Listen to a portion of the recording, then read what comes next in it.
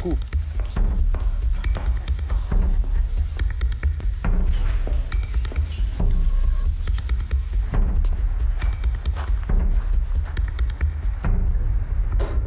que tu m'as appelé pour qu'on se voit, j'ai beaucoup réfléchi.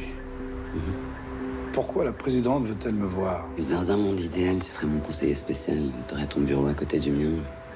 Un poste officiel, je, je peux pas. Ça m'a vexé.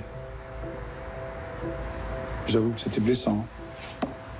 J'ai besoin de très peu, moi. Moi, ce que je veux, c'est le mariage. Pardon. Madame la Présidente, voulez-vous